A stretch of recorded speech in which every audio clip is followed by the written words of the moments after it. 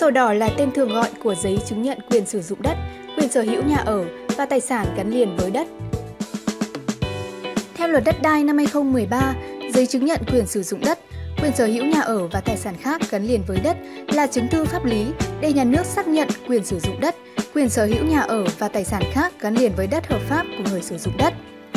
Nghe thì có vẻ rất phức tạp, nhưng tự chung lại, sổ đỏ là văn bản ghi nhận quyền sử dụng đất, quyền sở hữu nhà ở trên đất của người dân.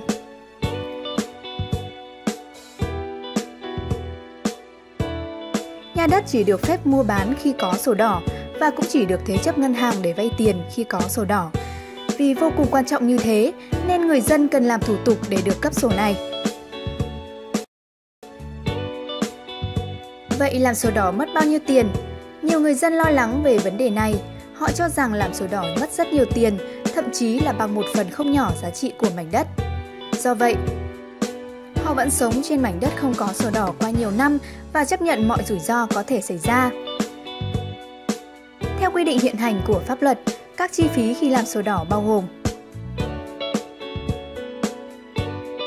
1.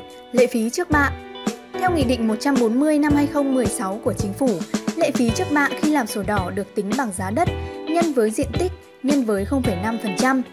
Trong đó, giá đất được quy định tại bảng giá đất do Ủy ban Nhân dân cấp tỉnh nơi có đất ban hành. Diện tích đất là toàn bộ diện tích thửa đất thuộc quyền sử dụng hợp pháp của tổ chức, cá nhân do văn phòng đăng ký quyền sử dụng đất xác định và cung cấp cho cơ quan thuế.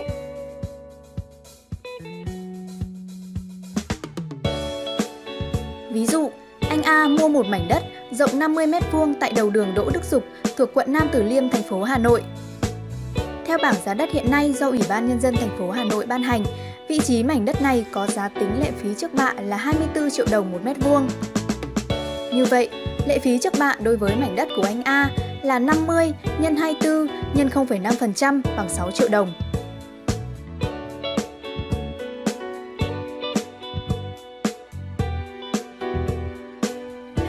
Tiền sử dụng đất Trong trường hợp sau đây phải nộp tiền sử dụng đất khi làm sổ đỏ.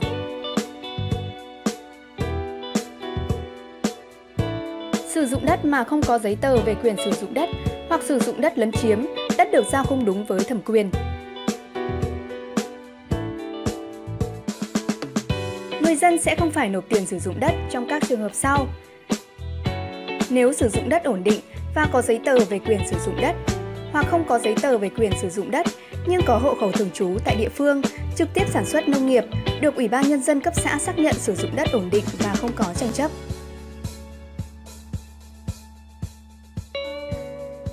ba Lệ phí cấp sổ đỏ Theo thông tư 250 năm 2016 của Bộ Tài chính, lệ phí cấp sổ đỏ do Hội đồng Nhân dân cấp tỉnh quyết định. Tức là mỗi địa phương khác nhau sẽ có mức thu lệ phí cấp sổ đỏ khác nhau.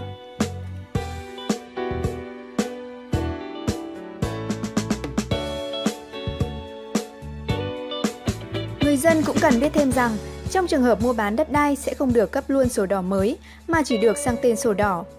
Theo thông tư số 23 năm 2014 của Bộ Tài nguyên và Môi trường, khi làm thủ tục sang tên sổ đỏ thì cơ quan nhà nước sẽ xác nhận việc chuyển nhượng vào trang 4 của sổ đỏ. Trong trường hợp trang 4 của sổ đỏ không còn chỗ trống thì được cấp sổ đỏ mới. Khi làm thủ tục sang tên sổ đỏ, người dân phải nộp thêm một số khoản tiền khác như phí công chứng hợp đồng mua bán, thuế thu nhập cá nhân,